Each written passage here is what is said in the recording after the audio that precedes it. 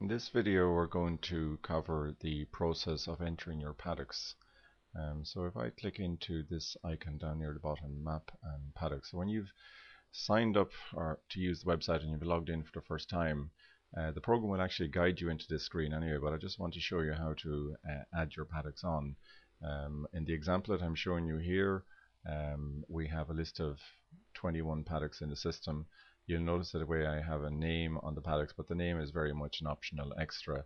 We have a walk number, and what the walk number is is the order that you walk the paddocks. In this case, we're saying that paddock number one is the first paddock I walk, but that's not necessarily the case in all farms. You could have paddock number 10 beside the milking parlour, and that could be the first paddock you walk every Monday morning, so that would then be walk number one. Um, any place where we feel you need a little bit of help, don't forget to let the mouse hover over the top of a um, the top of one of these columns and it'll tell you what that is for. So if I want to add a new paddock, I just click on new paddock up here and let's say I want to add in paddock number 22. Um, I, the most important thing obviously with the paddock then is what's the size and knowing the, uh, the hectares. So I'd say 2.2. Uh, you can put in a name if you want. Uh, it's not required. You can put in a walk number if you want. Again, over here it'll tell you a little bit about what that's for if it's if it is a bit confusing. But the, really the only two things I need is the paddock code and the hectares uh, is the paddock wet? Yes or no? It defaults to no. Is the paddock cuttable for silage? It defaults to yes. That can be useful if other people are looking at your data and they want to give you some advice perhaps on which paddocks to take out for silage because no point taking a paddock out for silage if you can't send more in there.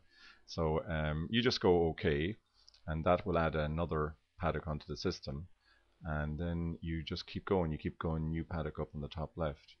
Now if I get back out to my home when I'm navigating the website I tend to find myself just clicking on home all the time. It almost brings me back, brings me back to this home page where I have all the icons. I can obviously navigate by using the drop down menu as well and you can do that if you want.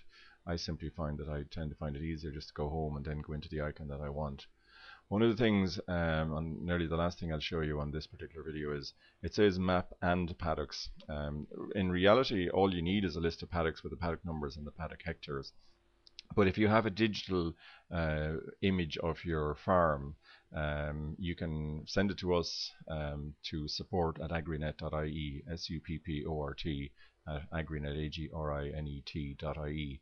If you send us that digital image, we can actually take your map and we can chop up all of the paddocks and we can upload them onto the website as well.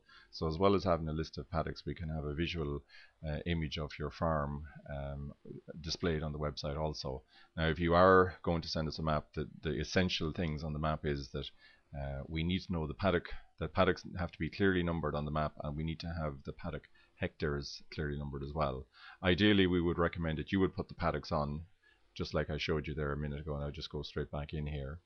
If you could put the, the paddocks on, so all the paddocks are in this screen already, and then all you have to do on the map that you send us, the digital map that you send to us, just have the paddock numbers uh, clearly marked, and then we can link paddock number one um, from the map onto this uh, screen here. So it's not it's not essential to have a map on the website, but it's uh, an option that's there uh, if you choose to use it.